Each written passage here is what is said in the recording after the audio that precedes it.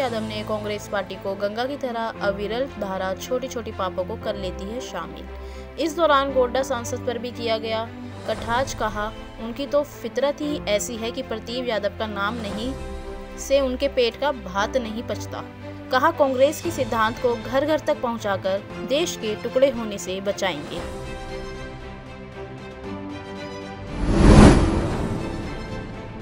Jamui rail थाना की police Pataliputra express train से गुरुवार सुबह साढ़े आठ बजे के करीब एक शराब के अवैध कारोबारी को एक नंबर प्लेटफॉर्म पर उतरते ही धर दबोचा।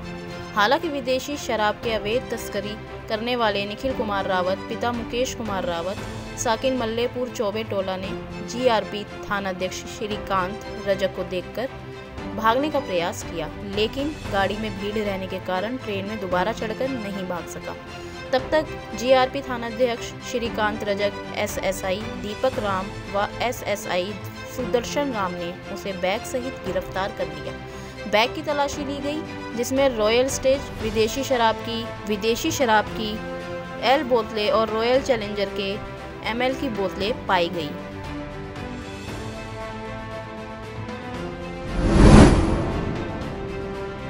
जमुई ज़िले में भारतीय जनता पार्टी के द्वारा संगठन को मजबूती के लिए नव जिलाध्यक्ष कन्हैया कुमार सिंह के द्वारा भाजपा जिला कार्य समिति का गठन किया गया। तो वहीं गठित कार्य समिति के शुद्ध भाजपा कार्यकर्ताओं ने बैठक कर गठन में सक्रिय कार्यकर्ताओं की अनदेखी का आरोप लगाते हुए इसकी निंदा भी की है। बिहार विधानसभा चुनाव नज़दीक आ रहे हैं तो विभिन्न पार्टियों में कई घटनाक्रम भी सामने आने शुरू हो गए हैं। भारतीय जनता पार्टी के जमुई जिला कार्य समिति का गठन किया गया। जमुई जिला भाजपा के नव नियुक्त जिला कार्य समिति के पदाधिकारियों एवं सदस्यों का भाजपा जिला कार्यालय में भाजपा जिला अध्यक्ष कन्या कुमार सिंह की अध्यक्षता में भाजपा के नव नियुक्त जिला पदाधिकारियों को फूल माला एवं अंग वस्त्र पहनाकर उनका स्वागत किया गया।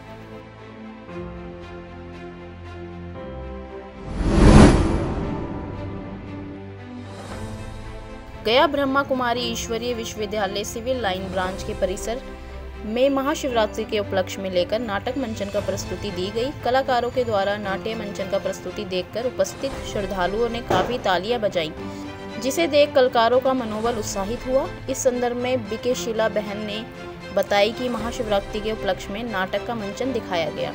मंचन में शिव का व्याख्यान को प्रस्तुति दिखाया गया। ईश्वर परमात्मा शिव आज भी गुरु हैं और उन्होंने किस तरह से तपस्या में लीन है और उन्हें नारद मुनि शिवरात्रि का संदेश दे रहे हैं। शिव आराधना, शिव की हम लोग साधना करते हैं।